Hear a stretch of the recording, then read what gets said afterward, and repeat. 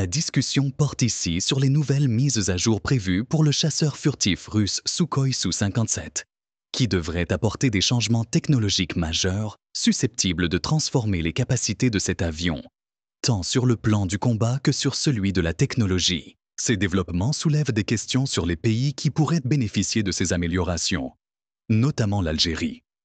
Ce chasseur représente l'une des dernières innovations de la Russie dans le domaine de l'aviation militaire. Il est conçu pour concurrencer les avions de cinquième génération comme les F-22 et F-35 américains ou le J-20 chinois. Cependant, depuis son apparition dans les médias militaires, il n'a pas échappé aux critiques techniques, en particulier concernant sa signature radar et l'armement externe. L'un des changements les plus significatifs consiste à modifier le système d'armement de l'avion pour qu'il ne transporte plus de missiles à l'extérieur, cela est considéré comme une faiblesse majeure pour un avion furtif, car les armes externes réduisent la capacité de dissimulation et rendent l'appareil plus vulnérable aux radars modernes. Cette mise à jour vise à corriger ce problème en concevant un nouveau missile de plus petite taille nommé Isdeliye White-en-10, censé être une version compacte du missile russe R-37M à longue portée. Ce dernier a une portée d'environ 400 km et une vitesse pouvant atteindre 7000 km/h. Mais sa taille imposante nécessite un montage externe, ce qui nuit à la furtivité de l'avion.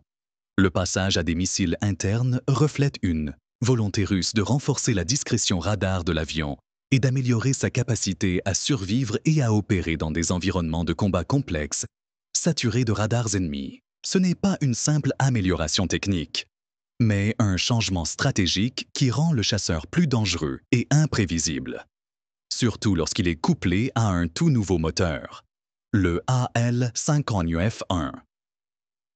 Ce moteur n'a pas seulement pour but de réduire la signature thermique et radar, mais il devrait également offrir une meilleure efficacité opérationnelle et une maintenance plus aisée par rapport au moteur actuel. Un autre élément digne d'intérêt est que la Russie travaille également sur le développement d'un nouveau casque de pilote. Un détail qui peut sembler mineur, mais qui a en réalité un impact considérable sur l'efficacité du pilote en situation de combat. Ce nouveau casque devrait être équipé d'un affichage en réalité augmentée, à l'image de ceux présents sur les avions de cinquième génération occidentaux comme le F-35 ou le J-20 chinois. Cette technologie permettrait aux pilotes d'avoir une meilleure conscience situationnelle, de prendre des décisions plus rapidement et d'interagir en temps réel avec les systèmes intelligents de l'avion, renforçant ainsi l'efficacité globale du chasseur en tant que système intégré. Vient ensuite la question centrale. L'Algérie pourrait-elle bénéficier de ces améliorations? Selon les informations disponibles, la version améliorée nommée SU-57ME1 devrait entrer en service dans les forces aériennes russes d'ici la fin de l'année 2026.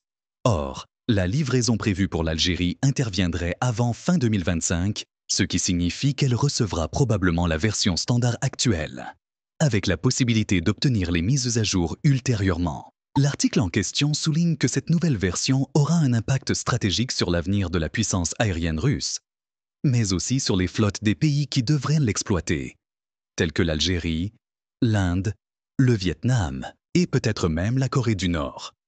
Cela implique implicitement que l'Algérie fait partie des pays susceptibles de bénéficier de ces mises à jour, soit dans le cadre de livraisons ultérieures, soit à travers des accords de modernisation ou de rétrofit des appareils après livraison.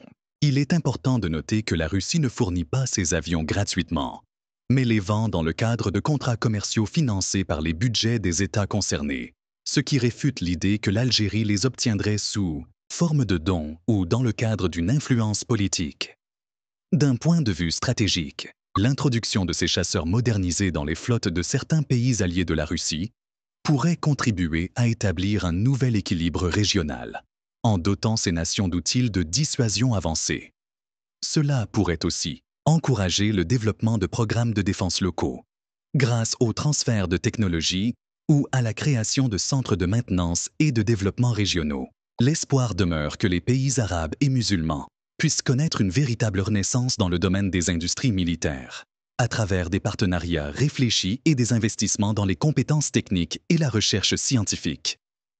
En conclusion, Parler des mises à jour du Su-57 russe ne se limite pas aux aspects techniques de l'aviation, mais s'inscrit dans un contexte global plus large où l'équilibre des forces dépend de qui détient une véritable supériorité aérienne et de qui a la capacité de combiner technologie, financement et volonté politique pour bâtir une force aérienne moderne, indépendante et avancée? En définitive, l'évolution du chasseur furtif russe Sukhoi Su-57 représente bien plus qu'une simple mise à niveau technologique. Elle s'inscrit dans une dynamique géostratégique où l'équilibre des puissances militaires se redessine à la lumière des innovations dans le domaine de l'aviation de combat, avec l'intégration de nouveaux armements internes, la mise en service d'un moteur de nouvelle génération, le AL-51F Fern, et l'introduction de systèmes de réalité augmentée pour les pilotes, la Russie cherche non seulement à rattraper le retard perçu vis-à-vis -vis des plateformes occidentales telles que la F-22 Raptor et la F-35 Lightning II, mais aussi à proposer un modèle concurrent et plus accessible aux pays partenaires.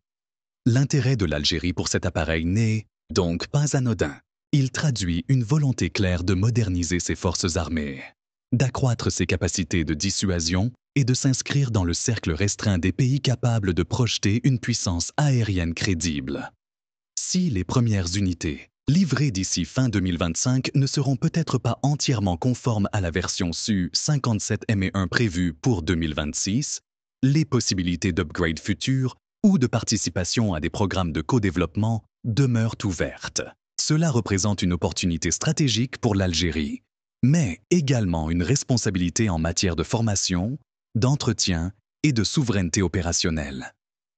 Dans un monde de plus en plus polarisé et technologiquement compétitif, la maîtrise de l'espace aérien et l'intégration de technologies de rupture, comme la furtivité, la guerre électronique et l'intelligence artificielle dans les systèmes de combat, deviennent des priorités absolues. Pour les nations émergentes ou en voie de développement, l'enjeu est double.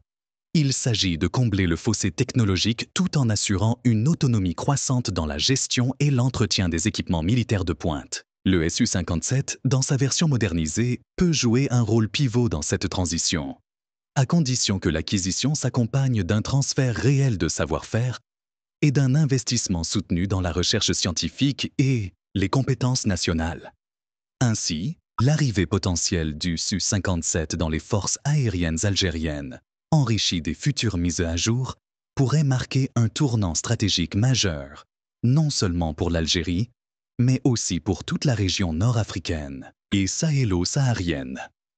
Elle reflète un choix d'alignement, un pari sur l'indépendance technologique et peut-être un signal fort envoyé à la scène internationale que l'heure est venue pour certains pays du Sud de redéfinir leur place dans l'architecture sécuritaire mondiale.